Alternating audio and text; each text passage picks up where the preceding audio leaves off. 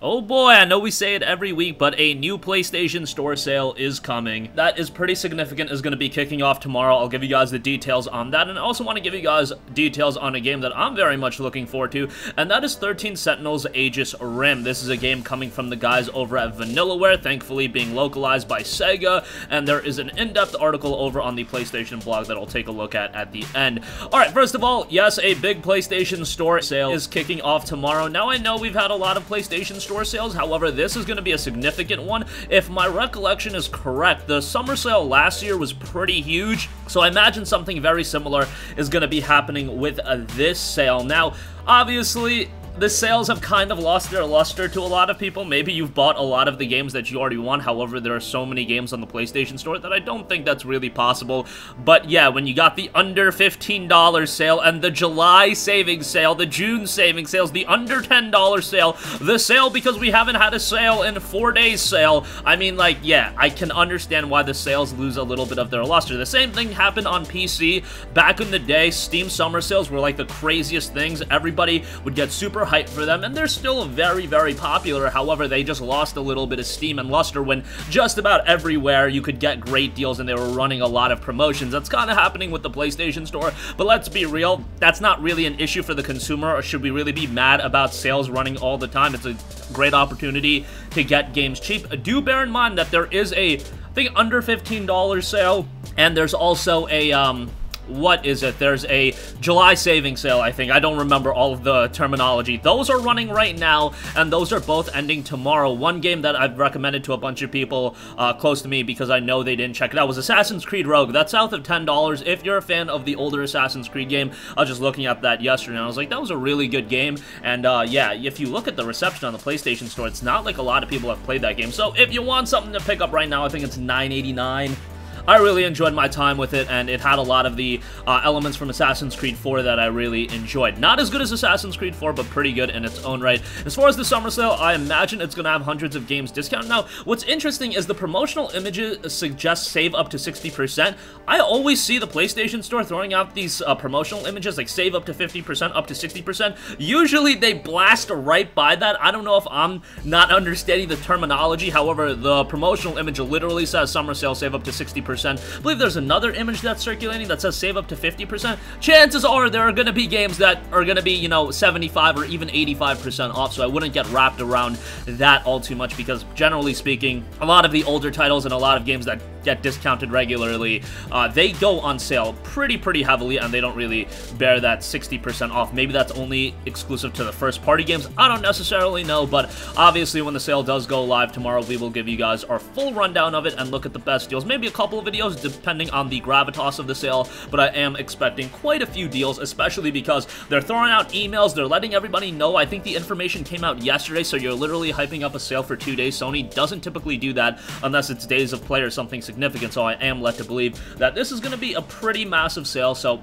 good time to build up your PlayStation 4 library as well, especially on the digital end of things when the PlayStation 5 comes out. Hopefully all of those will be playable, and I think it's very smart. Somebody threw this out in the comments section and really got me thinking because I think this person was on the money. I'm sorry I can't credit you right now, but running a bunch of PlayStation Store sales, getting people invested into their PlayStation 4 library when they transition into the PlayStation 5, that's going to make the sell on the PlayStation 5 so much easier, even if the Series X offers a compelling launch lineup, people are just going to think, I already got like 100 games on my digital library on PlayStation. I'm going to stick with PlayStation just on that virtue alone and that standpoint alone. So I think that's relatively intelligent. I just don't know how big of an element that is, but it's definitely something to think about. Not, nevertheless, the summer sale will be kicking off tomorrow. All right, moving on from that, 13 Sentinels Aegis Rim, new release date and an interview. Lead editor Ali Doyen takes sci uh, talks sci-fi narrative adventure, voice acting, and more. 13 Sentinels Aegis Rim now released on September 22nd. I believe it was scheduled for like the 13th or the 9th. The exact release date escapes me right now, and it will arrive on PS4 with English voiceover as part of a day one patch. I think initially we were led to believe that English voiceovers were happening, but it wouldn't be a launch day thing, so that's super exciting to see. It is a Vanillaware sci-fi adventure, and if you know don't know about Vanillaware, great games. Odin Sphere, Dragon's Crown, and my favorite, and goddamn it, why haven't we gotten a remaster or a port or something? Muramasa, the freaking Demon Blade. That game was phenomenal. Love that game on the Nintendo Wii. Emulated it on my PC. Played it on the PlayStation Vita with Rebirth. We need that game again because that game was so, so good.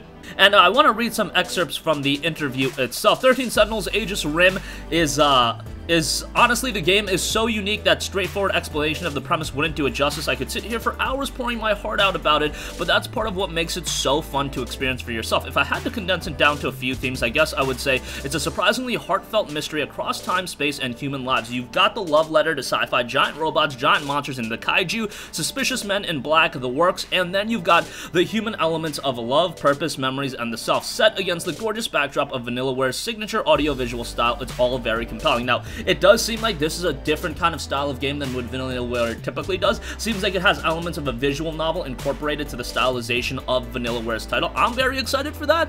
I love visual novels in a sense of games like Danganronpa, Zero Escape. Those titles are really good. Incorporated that in the Vanillaware game with their art style, I think that has potential to be really, really good. Obviously, it's coming out in a time period where there are going to be like a billion games coming out, and we're all looking forward to next gen. However, I really do think this is going to be a game to be on the lookout for. Again, it drops September 22nd. And that's going to conclude this video again. The big PlayStation Store summer sale kicks off tomorrow. Stay locked for our coverage of that. Hopefully we get some killer deals and hopefully it's a good chance for you guys to expand your library. Maybe you already completed Ghost of Tsushima. I already have a lot of friends that are beating the hell out of that game and they're already moving on to the next game. I can't be that surprised anymore with, you know, everybody being indoors and just playing video games all day. Kind of crazy, but that's where we are. By the way, Ghost of Tsushima really good. Was not hot on it initially when I started playing it, but as I played more and more of it, man, that game gets really freaking good. Really proud of Sucker Punch with that one.